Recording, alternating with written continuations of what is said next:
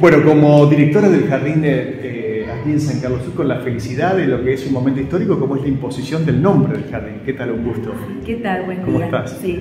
Bueno, ¿cuál va a ser el nombre que se le va a colocar al jardín? Bueno, el nombre elegido después de una votación con los chicos y de un proyecto que se llamó El nombre que te nombra, eh, va a ser Venera Vecchio. Bien. ¿Quién fue Venera Vecchio? Ve- eh, Venera fue una docente que era de Santa Fe, que trabajó en la localidad, fue docente, llegó al cargo de supervisión y escribió un libro, Cosecharás tu siembra, eh, donde nombra eh, a, la población de San Carlos Sur y que siempre ha tenido un, real respeto eh, hacia la educación acá en la localidad. Qué, qué bueno que se sigan honrando a docentes que hicieron grande la, eh, la- la educación pública de aquí de la localidad. Sí, y tenemos una anécdota, si me Sí, la por permitís, favor. breve, trato de sintetizar.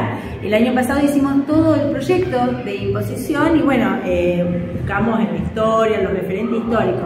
Pero este año, cuando se da la, empezamos a difundir que se va a hacer el acto, empezaron a llegarnos anécdotas, historias que no las sabíamos ni tampoco la habíamos encontrado eh, en- en la búsqueda histórica. Eh, así que vino una, una mujer que dio el nombre de ella, eh, amiga de, de Santa Fe, que tiene unas hijas que fueron como sobrinas, porque ella no tenía familiares. Falleció Venera Vecchio Sí, sí. Aparte, eh, para imponer un nombre es una de, de las pautas de la resolución.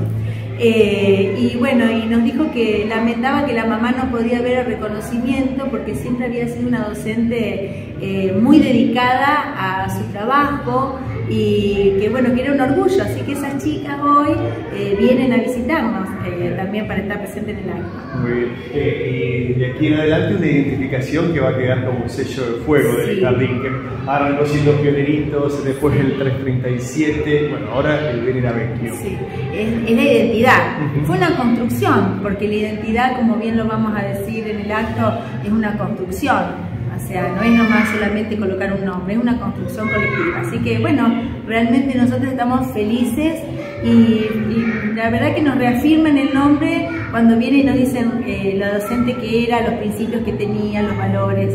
Eh, así que, bueno, muy felices. Muchas gracias. Bueno, muchas gracias. gracias.